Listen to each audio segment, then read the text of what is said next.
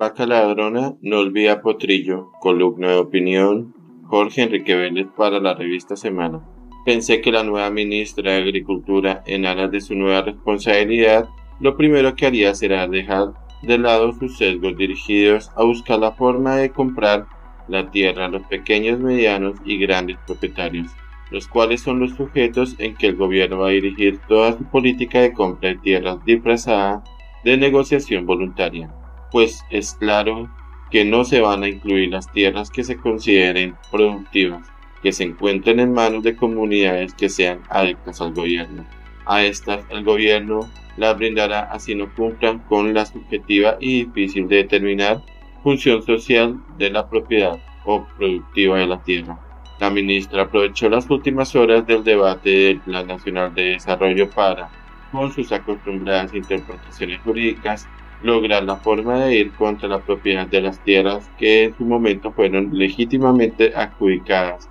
y luego adquiridas por quienes hoy son sus legítimos propietarios llevándola a conseguir suprimir garantías judiciales que estaban consagradas en favor de la propiedad privada y pública y así dejar un camino expedito para lo que en su sabiduría decía la Lo anterior con complacencia de representantes y senadores quienes, por su falta de conocimiento en el tema, por sus posiciones ideológicas o por formar parte de la coalición del gobierno, votaron el articulado en esta materia pensando que la propuesta que se hacía referencia al artículo 55 del proyecto del Plan Nacional de Desarrollo era un bingo, pues era más una posibilidad de permitir la compra de tierras de forma voluntaria y expedita que una ya anteriormente propuesta expropiación express que generaba rechazo y no aparecía por lado alguno. Por ello votaron ese entramado jurídico que solo busca el menoscabo de la propiedad privada y pública en materia de garantías, pues determina la exclusión de la fase judicial en los procesos agrarios de los numerales 4.5 y 7 del artículo 58 del decreto de ley 902 de 2017, entre otras cosas, en el cual no tengo la menor duda la Corte Constitucional, una vez sancionado el Plan Nacional de Desarrollo por parte del presidente de la República, podría incluso aplicar por primera vez la suspensión de una nueva norma que pueda producir efectos irremediables, hasta que se analice de fondo su constitucionalidad, pues la mencionada disposición afecta a la propiedad privada como derecho fundamental e incluso la propiedad de lo público, hablando de la ruralidad. El artículo 61 del Plan Nacional de Desarrollo, 55 en el proyecto, crea unos mecanismos aparentemente legales que obligan al propietario a la venta de su inmueble de forma voluntaria, una expropiación disfrazada, lo cual configuraría un incumplimiento de parte del presidente y la vicepresidenta del compromiso que suscribieron en campaña, al firmar ante notario que no habrá ningún tipo de expropiación en materia de tierras. Lo increíble aquí es que la ministra le podría explicar fácilmente al presidente que tiene 9 millones de hectáreas para formalizar y entregar a campesinos sin tierra, y con los dineros que van a destinar para la famosa compra de tierras los podría utilizar para ejecutar programas de productividad de estas y además en inversiones que garanticen la calidad de vida de los campesinos, drenajes, educación, vías, y le permitan así regresar al campo. Esto sí sería una verdadera reforma agraria. El gobierno y el Congreso caen ingenuamente en cumplir los sueños ideológicos a una ministra con un artículo que fue llevado a última hora y que no era parte del Plan Nacional de Desarrollo presentado inicialmente por el gobierno. Artículo que permite es darle a la Agencia Nacional de Tierras las facultades que tenía la hoy ministra cuando era parte de INCODER, cuya aplicación fue muy discutida en ese entonces por ser poco garantista. Es importante aclararle al lector que la ministra Mojica y el director de la AN iniciaron juntos sus actividades en el Urabá antioqueño, buscando siempre la forma de quitar las tierras a los empresarios del banano y la ganadería, con interpretaciones jurídicas peligrosas, afortunadamente sin los resultados esperados, pues sus argumentos no fueron en su mayoría tenidos en cuenta por los funcionarios encargados de los temas en los gobiernos de turno, tampoco por muchos jueces de la República,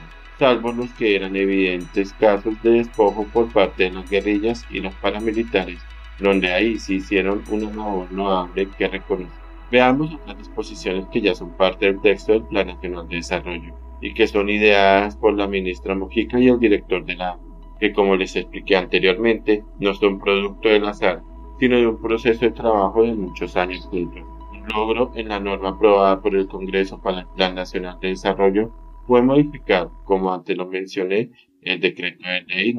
902 de 2017 por el cual se adoptan medidas para facilitar la implementación de la reforma rural integral contemplada en el acuerdo final en materia de tierras, específicamente el procedimiento para el acceso y formalización y el fondo de tierras. Es decir, el gobierno de izquierda, aliado a las Partido Comunes, vía plan de desarrollo, comienza a cambiar las leyes producto del acuerdo de paz para adaptarlas a las voluntades de la ministra, situación que no era posible acometer con mayor rapidez debido a las normas vigentes producto del mismo, eliminado del tajo la garantía jurisdiccional en materia de procesos agrarios, lo cual servirá como medida de presión para lograr la compra voluntaria de los predios en los que el gobierno manifiesta interés según sus prioridades. Esto no es otra cosa sino una expropiación disfrazada y un ataque frontal al derecho a la propiedad. Con el artículo 61 del Plan Nacional de Desarrollo se establece una expropiación expresa, donde el propietario será requerido por una sola vez, vende o vende,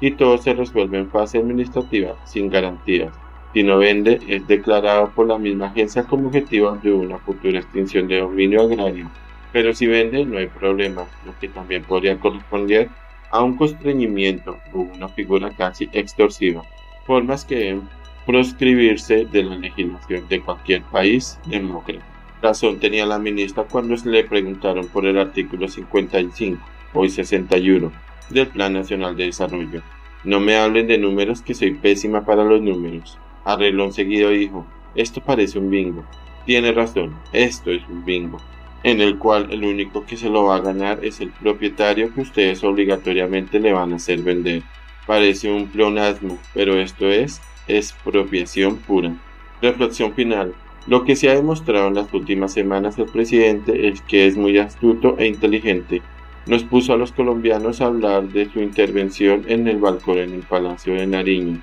de su enfrentamiento con el fiscal, de si usar o no un PRAC, mientras sus ministros del pacto histórico nos clavaron el Plan Nacional de Desarrollo. Quién sabe cuál será el próximo escándalo para entretenernos mientras saca adelante sus reformas.